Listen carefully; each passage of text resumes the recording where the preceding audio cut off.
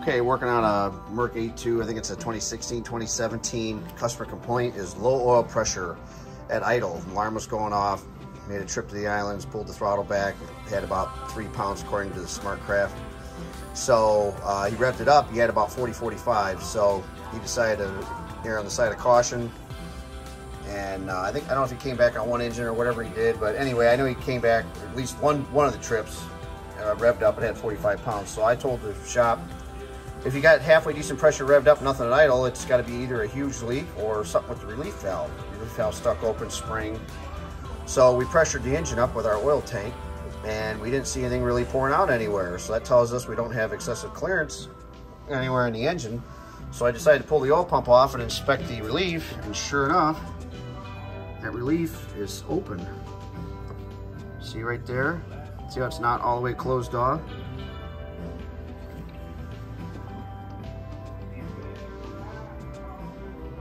It's not, that's gotta be buried. See that little gap right there? And the pin, I don't know if it's gonna come up on our camera here, probably not. Can't see it, but that pin is not all the way buried. You can kind of see it there. So I think something happened to this relief piece of shit and it spring broke or whatever, so I'll take it apart. All right, I took the relief out, and uh, even though it looks good, it was hung up in there. I worked it back and forth a couple times, and it now works freely. I do not see anything. It looked like the burr was on this hole here in the machine. You can't see, but we're just gonna put a new oil pump assembly in it.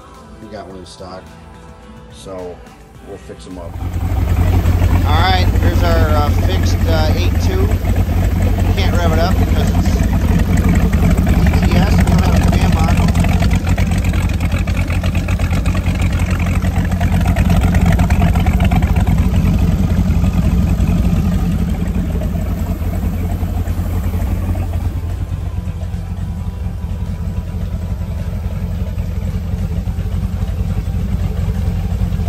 up. It's got 49 pounds of idle. This thing had a stuck open relief in the uh, pump. Customer shut it down right away and